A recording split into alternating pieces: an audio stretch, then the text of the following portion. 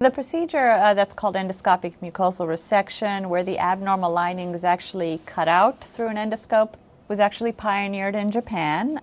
There are several centers in the United States where this is performed. They're usually centers that specialize on Barrett's esophagus and where the endoscopists have a higher level of expertise.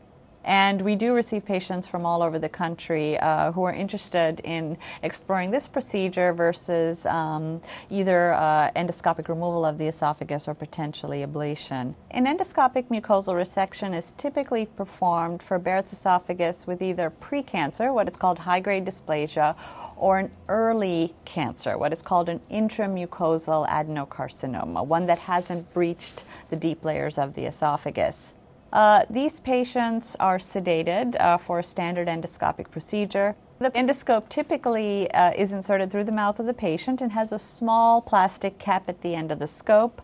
The lining of the esophagus is pulled into the cap, and a snare is basically put around the polyp that is created, and then using current and the snare, the polyp or the lining of the esophagus is removed. We can do several of these at a time, effectively removing, you know, several centimeters of the lining of the esophagus. Uh, the procedure goes through the endoscopic uh, mucosal layer as well as the submucosal layer, and the specimen that is removed is sent to a pathologist for interpretation. So you're able to actually obtain a pathologic uh, report of what was removed and what the patient had, which is um, an advantage of this procedure.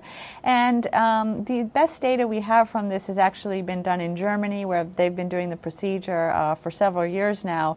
And patients who underwent this procedure for early intramucosal cancer were noted to have the same uh, age adjusted survival as the average German population over a five year period. So it's quite effective for the treatment of early cancer.